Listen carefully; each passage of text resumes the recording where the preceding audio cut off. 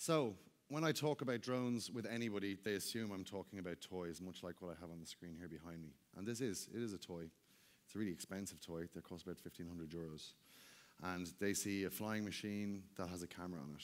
But I see something completely different. I see a multi-use platform that we can apply to many, many other technologies, and we can solve loads and loads of problems. So when I look at it, I see a 4K camera, which is TV quality. There is a company in Ireland that have developed an off-the-shelf app that you can apply to this toy drone. It can be used for search and rescue, and it can find somebody eight times faster lost on the mountain or out on the moors uh, than the traditional methods. So it's not really a toy, it's a platform. Um, this is very robust. It's almost fly out of the box. Uh, it's very fast. It travels like 40, 50 kilometers an hour, and uh, it's quite easy to use. So my name is Ian Kiely. Drones have changed my life, and I'm going to show you, I hope today, how drones might change your life as things progress. Um, up until three years ago, I was a caterer, a full-time caterer. Uh, I had a serious injury in 2010, and I had another serious injury in 2014, and that ultimately led to my business winding up. I was in bed for an entire year, and I was a complete technophobe. I decided I'd become a project manager and in, while studying for project manager, I had to learn how to use a laptop first. So all of this is in the last three years. So I sat down, learned how to use my laptop, and started to become a project manager. And I thought, oh man, I can't sit at a desk. Like I will be so bored for the rest of my life if I do this. So my friend got me interested in drones, and it's become so much of an obsession when I'm out with my friends, I'm not allowed to use the word drone. and they're like, oh, you're droning on, and you're doing this, and whatever. So zip, I'm not allowed to talk about it full stop. And they're really good lads. They minded me when I was sick. So I'm going to talk to you a little bit about how I got here and the type of stuff we're doing. So initially, I went to the Department of Social Protection and I wrecked their head for a year until they gave me money to go away because they had no box for aviation, they didn't know what a drone was, and I was like, just give me money and I'll leave. So they gave me 20,000 euros over two years to get started, and I lived on beans.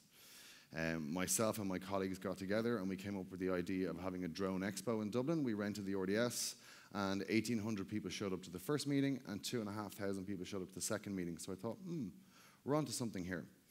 So we started developing ideas. And I'm going to talk a little bit about the ideas that we are working on. I'm going to show you a little bit about where we're going. And ultimately, I'm going to show you where I think drones are going to end up. And I mean, I could be a little bit off, but I think it's happening. So here we go. So this is a precision agriculture drone. I believe it's the only one in Ireland. Uh, this didn't start out as my project. My business partner came up with this project, and I thought he was mad. And I knew nothing about agriculture. So when the project became my project, I thought I have to learn a bit about this. So I went to my cousin's farm and I followed him around and I wrecked his head until I learned a little bit about drones. And then we went to the ploughing championships. And then the ploughing championships, the first thing farmer said was, You're a Jackeen, what the hell do you know about agriculture? I was like, Well, you're kind of right, but I know how to fly a drone and I know how to make aerial robotics work. So you should listen to me a little bit.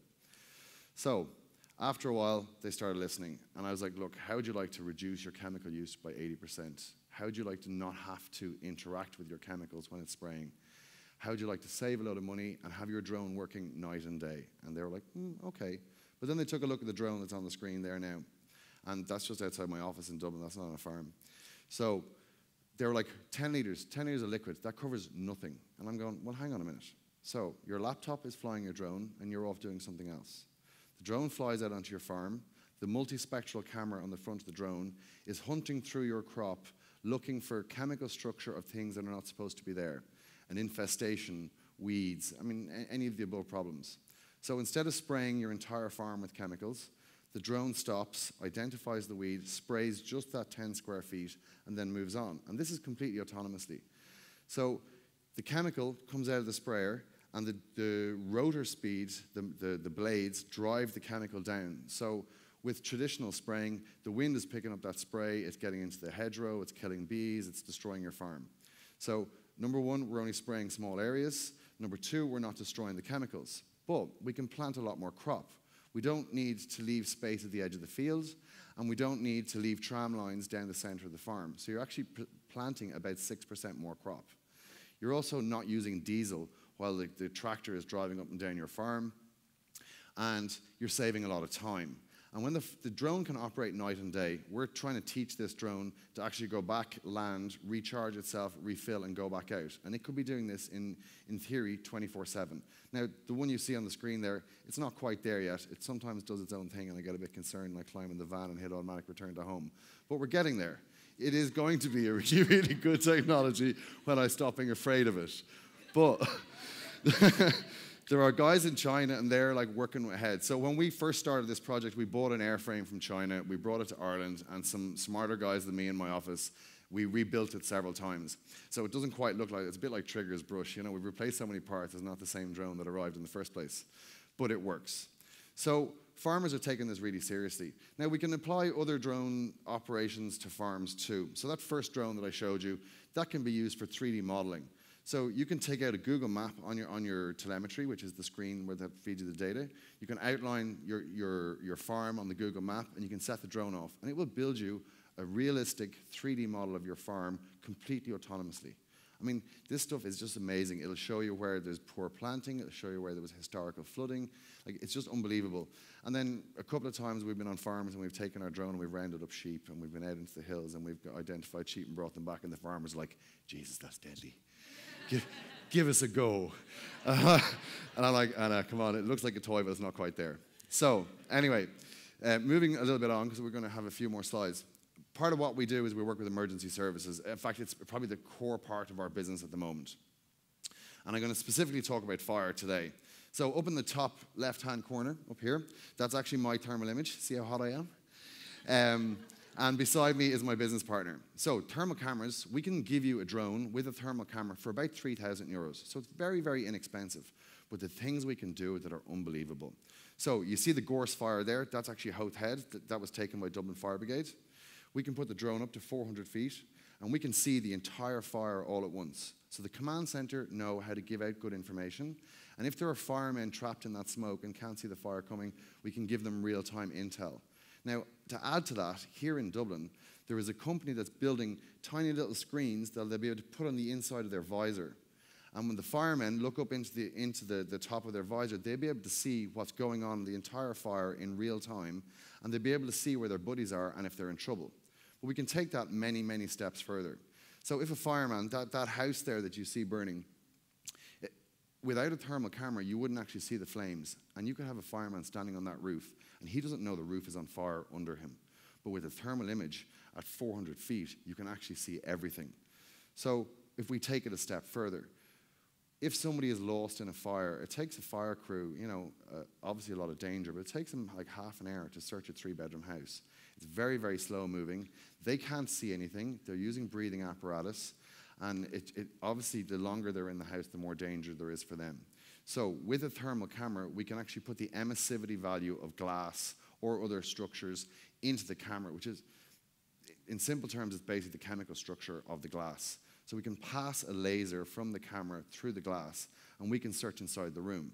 Now, if there's a big fire, you're just going to get a big white patch. So we can also program the camera to block out any other heat source other than body temperature.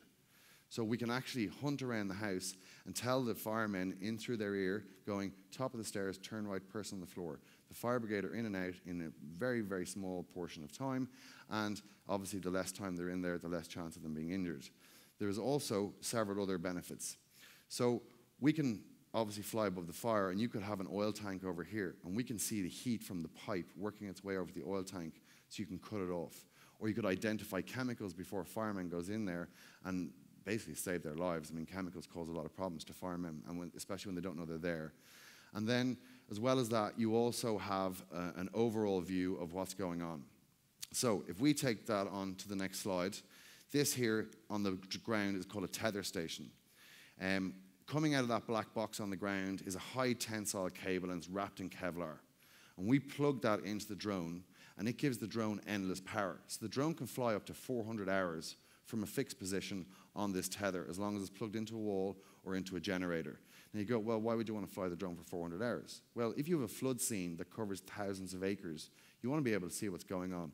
People trapped in houses, cattle trapped, I mean, any list of things.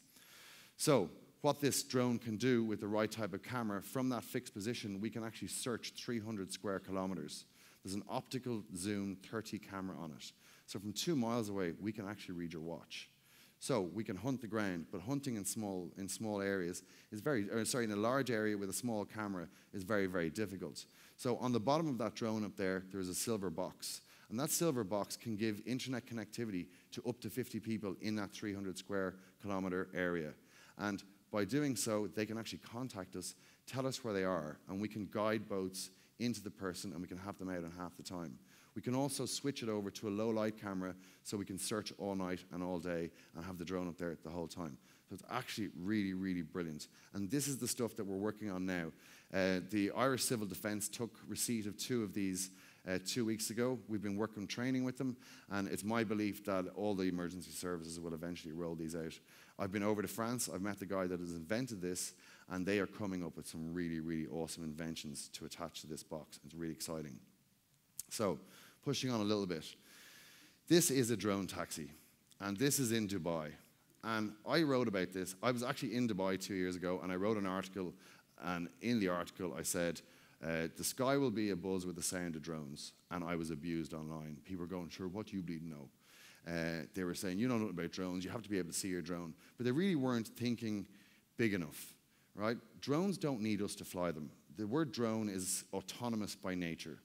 So, if you had a grid system with a hive mind, the drones can all talk to each other. So in Dubai, this drone actually exists, and there are two other similar versions to it. And you get into it, you punch your address in, and it will take you to any other helipad in Dubai. So don't worry about the tra chronic traffic problem. Now, they've changed their laws, they're adopting this, this is coming, and they're building an Uber system.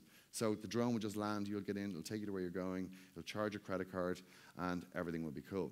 And this woman here thinks I'm mad. Um, I can see you nodding your head. so, if we link this then to delivery systems, right, it's not unrealistic for, say, a farmer to be in Kilkenny and has something to break on his tractor and him to not be able to work for like up to a week waiting on something to be delivered.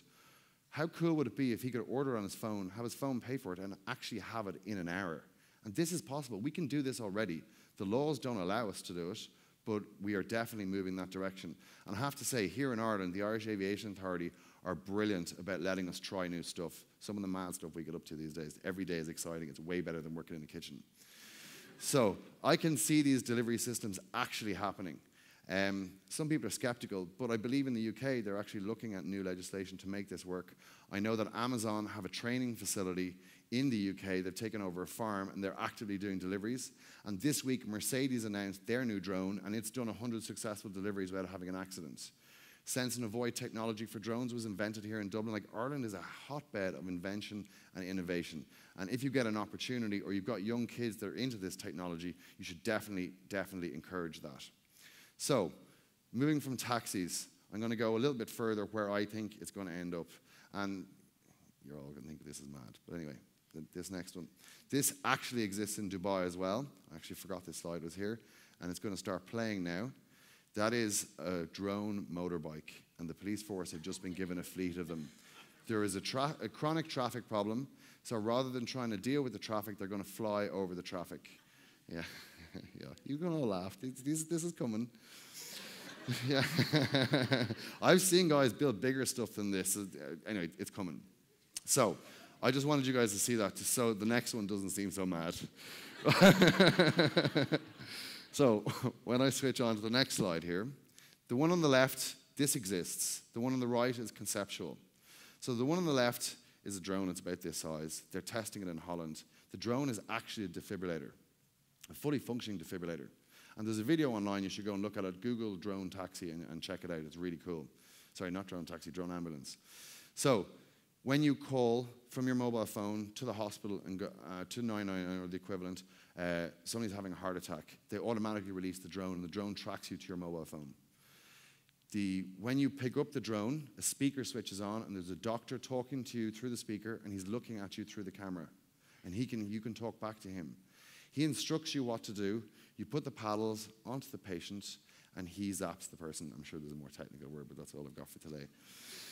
Right? And you know, chances are you're going to save somebody's life. I mean, we've seen defibrillators appearing on streets all over the place.